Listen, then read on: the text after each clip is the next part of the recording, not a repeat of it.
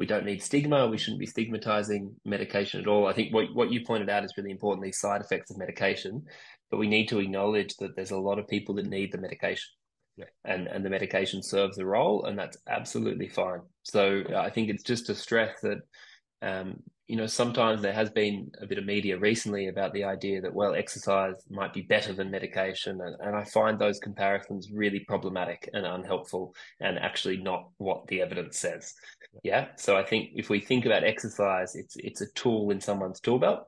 They may need other tools as well. So exercise can still be useful, but you may need those other tools. You can't just use a hammer for everything. Yeah. So that's, that's the first thing the, the weight gain and the side effects of these medications is not just antidepressants. We also see devastating metabolic, so f- devastating physical health consequences of antipsychotic medication as well.